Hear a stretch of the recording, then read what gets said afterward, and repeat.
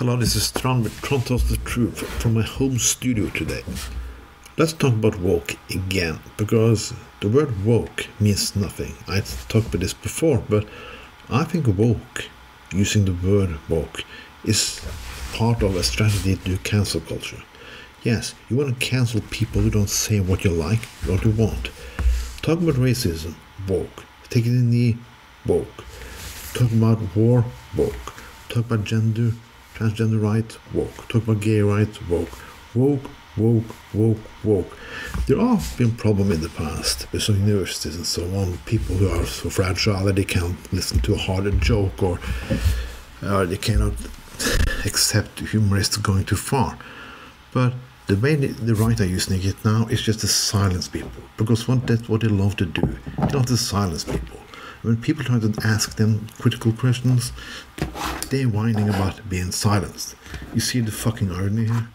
Yes, today's use of the word woke is cancel culture.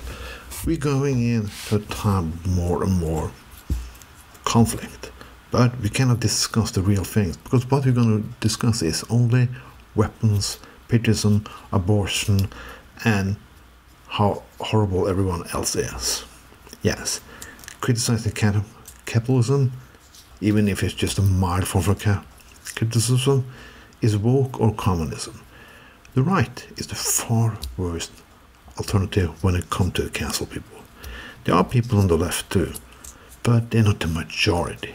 The people on the right have never, never suffered to being cancelled, really.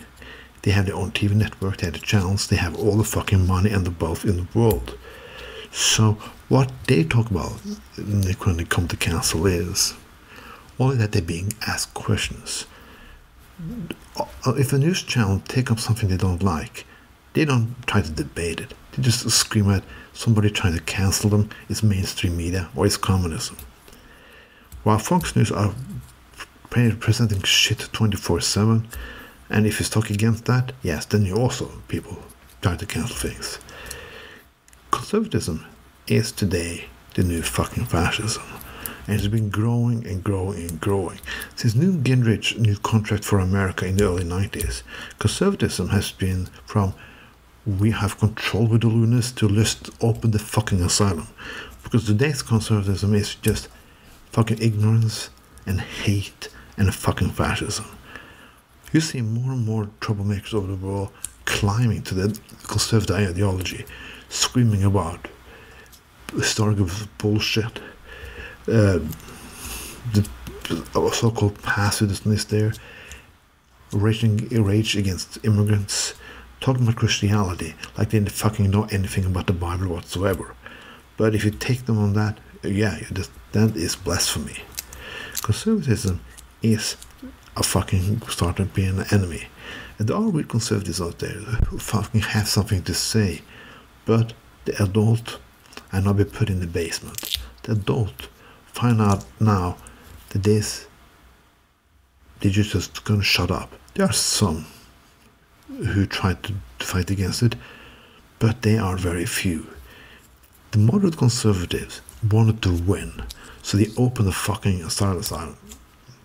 So here is fucking where we are. This is the new fucking normal, and we have to fucking live with it. This is 19 like the years between 1918 and 1940 all fucking over again. Einstein said he feared World War III was going to be fought by sticks. I don't think so. It's going to be fought with weapons, horrible weapons, and a lot of people are going to fucking die. Thank for conservatives, assholes who are more interested in taking fucking rich elites' money and pissing on the people than actually do something for society at all. This was Trond with Trond Tells the Truth.